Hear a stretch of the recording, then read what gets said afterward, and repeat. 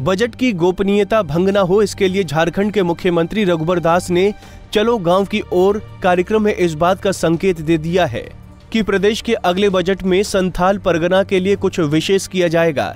मुख्यमंत्री ने कहा कि केंद्र सरकार के सर्वे में जिन 30 जिलों को अति पिछड़ा घोषित किया गया है, उसमें साहिबगंज और पाकुड़ ये दो ज़िले संस्थाल परगना के हैं, जिनको जिलों के लिए बजट में अतिरिक्त प्रबंध किया जाएगा।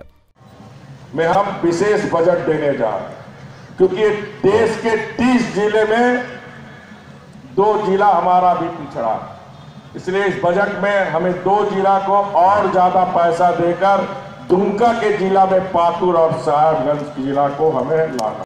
संथाल परगना झारखंड मुक्ति मोर्चा का गढ़ माना जाता है।